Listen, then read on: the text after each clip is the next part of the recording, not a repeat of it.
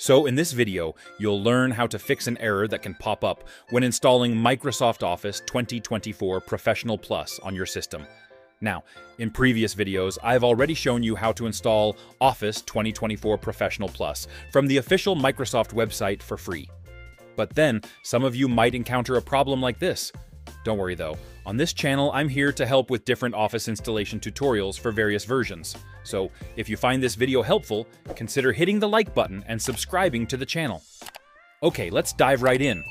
To fix this issue, all you need to do is add .xml at the end of your configuration file name in the Notepad TXT file.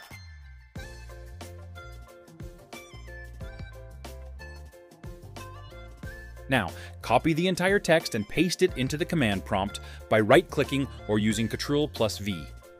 After that, hit enter. At this point, you shouldn't see that error anymore. Just sit back and relax. Your Office will install automatically.